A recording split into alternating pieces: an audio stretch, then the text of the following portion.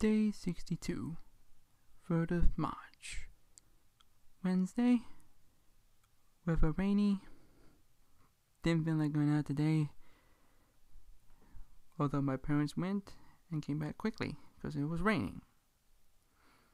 Kinda foolish if you ask me. But yeah, nothing really special has been going on right now. Um, I don't know when things will be purely normal, but hopefully it will come soon. Now, I doubt it again, because I always have my doubts. I know I have a bad, bad feeling that something or someone is going to ruin everything.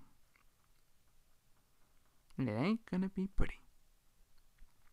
So, everyone stay safe, and I'll talk to you tomorrow.